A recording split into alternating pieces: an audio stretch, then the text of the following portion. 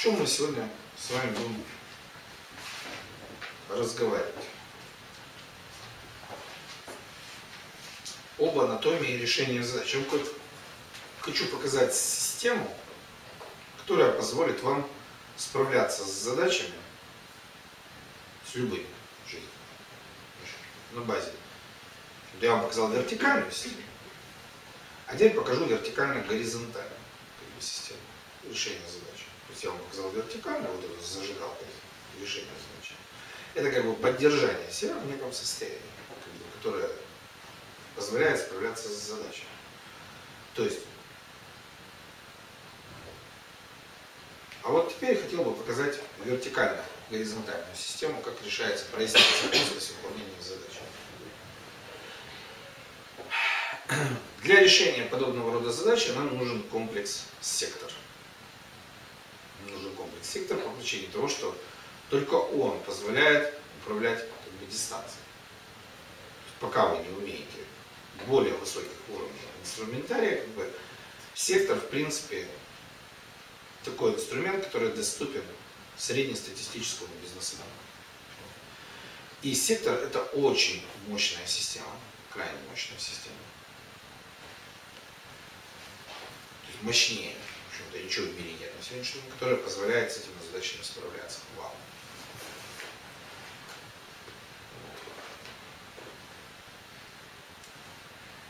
Давайте я задам вам вопрос, который выглядит так. Как, по вашему мнению, выглядит устройство задачи?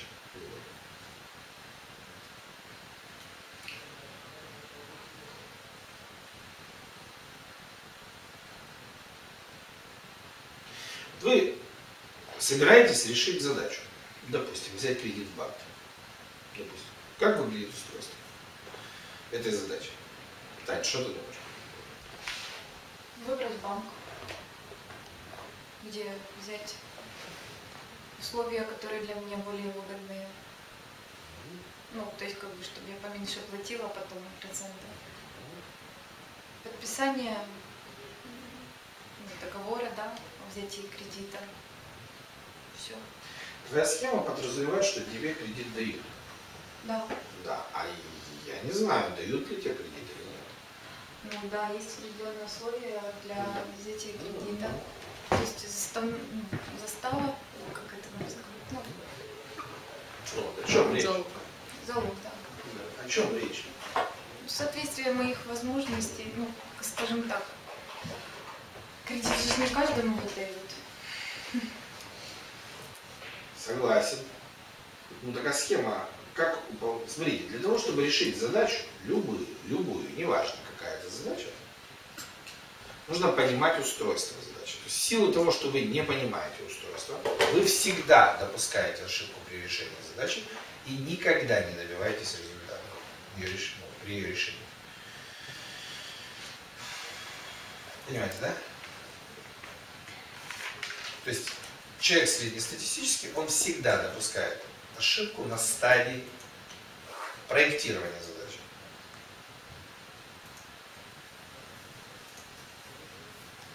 Всегда. Обидно тогда, когда человек знает это все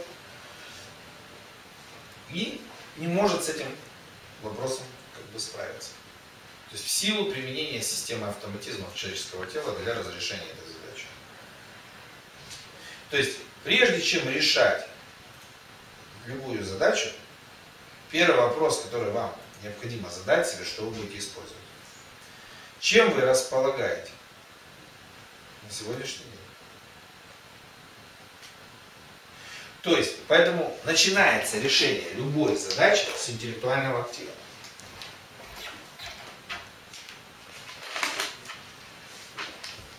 Всегда. Решение любой задачи начинается с наличия интеллектуального актива. Если вы не знаете, что вы осознательно будете использовать при решении этой задачи,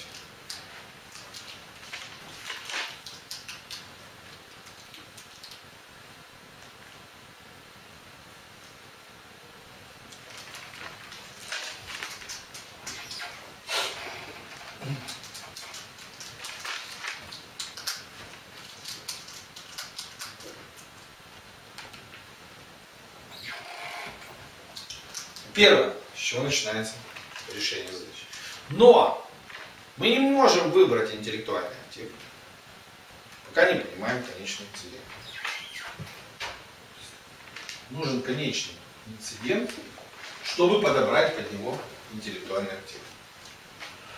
То есть, но у человека есть неприятность. Человек всегда делает 8 вещей. 8. Применяя систему автоматизмов человеческого тела. Юля, доложите нам, каких 8 вещей делает человек? Подмена конечного инцидента. Да, то есть он подменяет конечный инцидент один на другой. Подмена конечного инцидента. Это вещь выработанная у человека, который что? Не способен справляться с задачей. Он всегда обманывает самого себя. То есть он хочет любви и счастья, а говорит, что хочет работать. Просто. Лжет себе, лжет другим. Тем самым делает несчастным себя и пытается сделать несчастным других. Всегда. Простая вещь. В бизнесе то же самое. Говорит, что хочет суд выиграть, а на самом деле ответственность переложить хочет на кого-то. Просто. Все просто.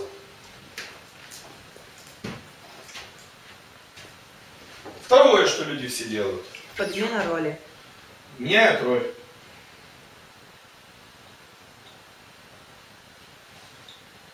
Как они это делают? Просто.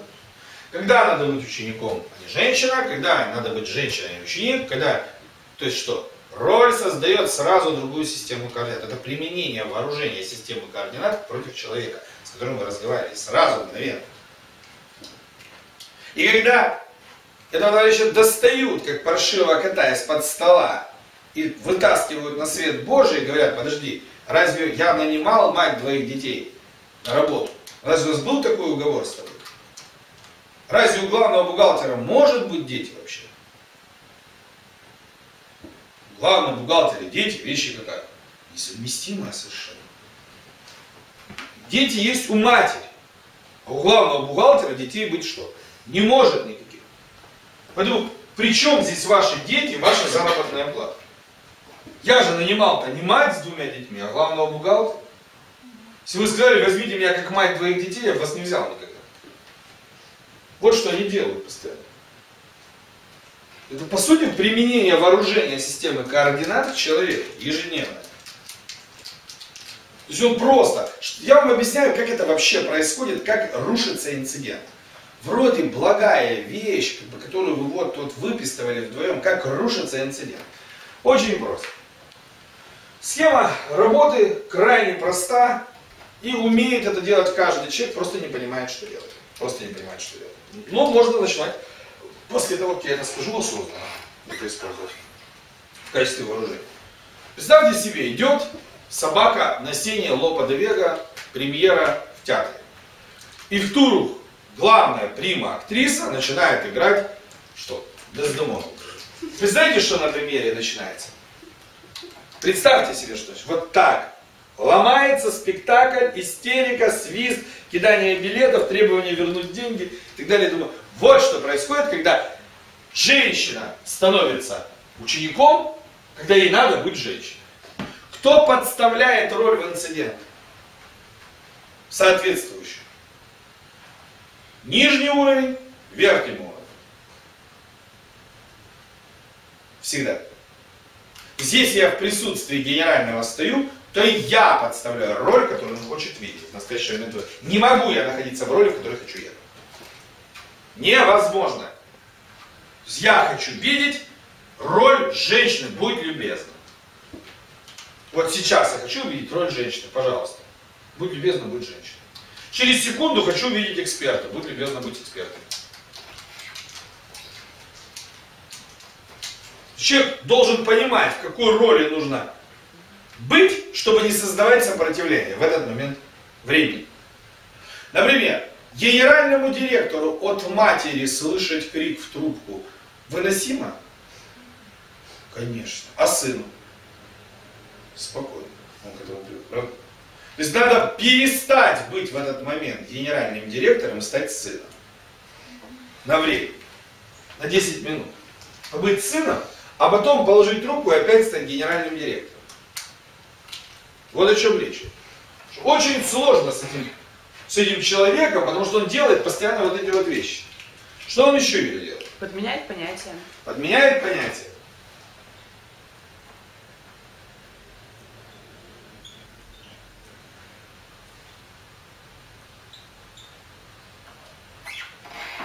То есть он подменяет вам одни понятия на другие. Он начинает путать хрен с пальцем. Божий дар с яичницей, как в Одессе говорят. Начинает что? Страшно обижаться, когда его за нос хватают. Говорят, подожди.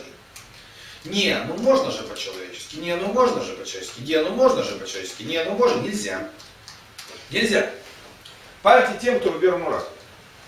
Выпариваете этот чаек тем, кто по первому разу. Нельзя. И вы должны это четко понимать.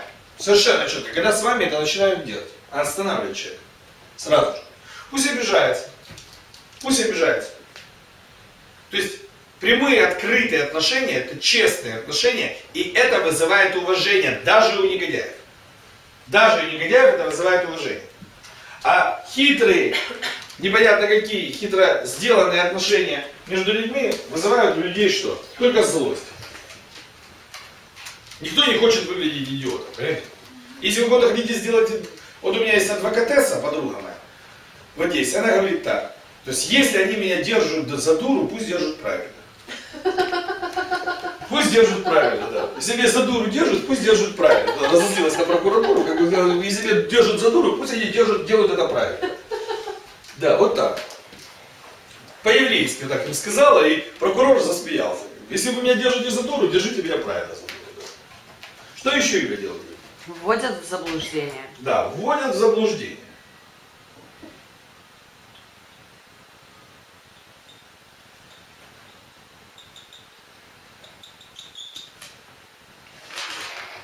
То есть сообщают вам заведомо, что неправдивые сведения, выливают на вас свое миропонимание, тащат вам, подменяя понятия и тут же вводя в заблуждение свою семью на голову, свои проблемы, сразу приходят. Начинается. Шоу Банихила. Давайте будем дружить. Но сначала погасите все мои кредиты. Ну, часто очень. Приходит человек и говорит, я хочу взять кредит. Ну там, Олег Ильич, поговорите с финансовой какой-то группой, чтобы мне дали деньги. Цель. Рассчитаться с долгами.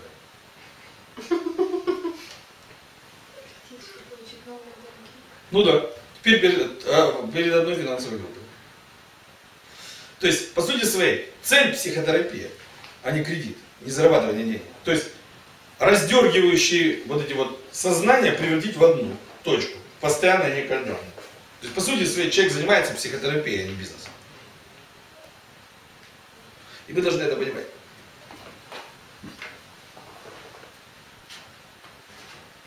И вы должны это понимать. Четко и грамотно.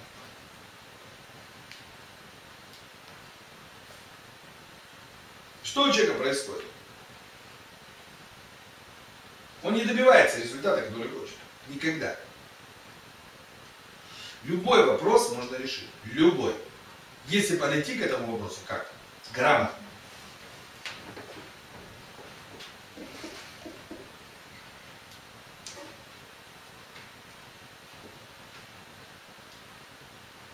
А человек что делает? Он пытается как бы приспособиться. И вас приспособить, в конце концов, под себя. Как ему удобно. Очень просто это увидеть глазами, прям проверить, что я говорю. У кого-нибудь есть родственники, которые приезжают в гости? Есть? Как долго вы их можете терпеть себя дома? Они начинают переставлять ярлыки на вашем мобильном устройстве, на ноутбуке. Да? Они начинают переставлять ваши вещи, начинают переструктурировать квартиру полностью, да? Вы- Вас, вас начинает мкнуть, клинить, вы их останавливаете, да? То же самое вы делаете в миру. Что и ваши родственники, когда приезжают к вам домой. Всегда вспоминайте этот пример, который вы пытаете человека примастырить под себя. А он не мастырится, он вас хочет примастырить под себя. И вот вы друг друга мастырите, это называется так. Кто кого, когда. Павел Валентинович, у него другое, другое выражение есть. Каждый думает, что он это делает с тем человеком, когда в этот момент это делают с ним, но он думает, что он делает только это с ним. Да, то есть это очень любопытно. Ну, У меня есть подруга, близкая подруга в Одессе. Она говорит про одесских женщин так, что мы делаем одно дело с апреля по август. А потом с сентября по март ищем работу, чтобы никто не думал, что мы делали это дело с апреля по август.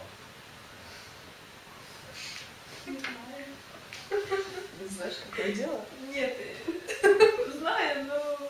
Я же знаю, если она живет в Одессе. Я же знаю. Все в Одессе знают, все прекрасно, все все прекрасно понимают. Просто суд не говорят. В Одессе все все прекрасно понимают. Там как раз открытая обстановка, абсолютно.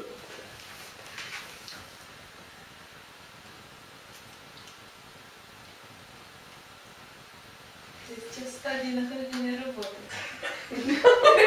Да, Ира, я. Ира, смысл в том, смысл в том, что я вам объясняю некий принцип. Некий принцип.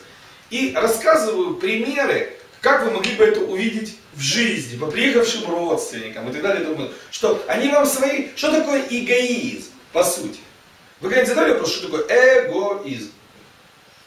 Это когда вы навязываете свою систему автоматизма, пытаетесь сделать другого человека частью своей системы автоматизмов. Под себя, примастырить, как мазыки говорили, правильно? Примастырить его. Человек. Вы когда-нибудь видели, чтобы я кого-то хотел сделать частью своей системы автоматизма? Правильно. Никогда. Почему? Да у меня с автоматизмом все в порядке. Мне не надо, чтобы мои эстафетные роли были кем-то в моей жизни. Это мои эстафетные роли. Я его никому их не даю. Всем по рукам бью, кто их трогает. Это мое. Да, я никому свои автоматизмы не навязываю. Что будет так, как я сказал. Не потому, что я так сказал, а так положено. Кем положено? Предками. Так положено издревле. Это канон. Я что? Соответствия добиваюсь всегда в менеджменте, а не автоматизма. То есть добиваться соответствия это что? Воспитание человека. А контроль его это автоматизм. Бить его по носу, бить по носу с целью сделать его запчастью своей системы автоматизма, это вот как раз что? Примастырить. Это как раз примастырить. Или когда другой человек с дуру думает, что он вас может сделать частью своей системы автоматизма. Моя эстафетная роль не справилась, давай-ка я тебя вставлю в качестве болванки этой эстафетной роли, пусть и, и ты справься. Ну, давай, что не хочешь быть моей ролью в моей системе автоматизмов? Идиот, ну давай быстрее соглашайся. Че не согласен? Давай, прыгай, ныряй, увидишь, какая там глубина. Быстрее. Это вот как раз то, что женщины называют, что он придурок, не понимает своего счастья. Вот это выражение, оно как раз джш, в болван. Эстафетная роль. Интересно, как себя чувствует мужчина, который является эстафетной ролью в системе автоматизмов человеческого тела женщины? Наверное, это просто потрясающе. Это удивительное состояние души человека. Вы придумайте просто, вот просто представьте себе. Или когда женщина становится эстафетной ролью в системе автоматизмов мужчины. Представьте себе, как себя чувствует женщина. Да человек вообще не может быть частью чужой системы автоматизмов. он может быть либо родопричастным, частью рода, либо частью общества, государства и так далее и тому подобное. То есть системы, некой. Или группы систем. Когда его человек примастыривает, он становится вот этой ролью эстафетной в его системе автоматизма. И у нас выйти замуж значит сделать кого-то частью системы автоматизма человеческого тела. Сейчас даже уже многое время ходит расхожее такое название, которое называется «он ее не хочет». Что не хочет поставить в эту болванку. Вместо роли желания. Что такое женщина современная, которая называется «я люблю его»? То есть мне подходит. Хотите влюбить в себя женщину? Это же элементарно вообще-то. Что нужно сделать? стать ее ролью в системе автоматизма в ее человеческого тела, которая отличается варианты. То есть желание, то есть роль, обеспечивающая существование всего. Согласиться быть этой ролью в ее системе автоматизма. И она в вас влюблена по уши. И она в вас влюблена по уши и просто в восторге от... Это называется счастье женщины.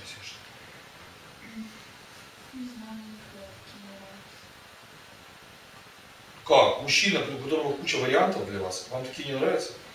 Ну, наоборот, нравится всегда, когда мужчина что-то из себя представляет и имеет отличную точку зрения, то есть не поддается. Тот, который э, во всем угоден, неинтересно. То есть тот, который делает вас частью своего автоматизма. Ну, это, это... Куда вставляют женщину? В какую роль эстафеты? Вместо какой эстафеты?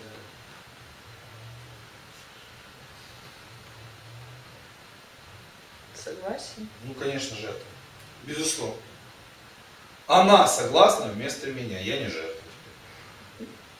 Жертва она. А я большой и сильный. Я большой, толстый и сильный. То есть утверждение за счет другого человека. Вот и все. Поэтому он ее тягает к себе, бьет ее, мучает, издевается над ней, ничему ее не учит, не требует дисциплины, не любит ее, не холит, не наряжает ее как церковь, а целыми днями делает ее виноватой во всех смертных грехах своих, собственно. У нее психологическая разгрузка. Пришел в день уже не дал, фу, жизнь наладилась. Вот, вот это, это сегодня, то, что сегодня во всем мире. Конечно, вместо жертвы ставят. А женщина мужчину вместо обеспечивающего существования.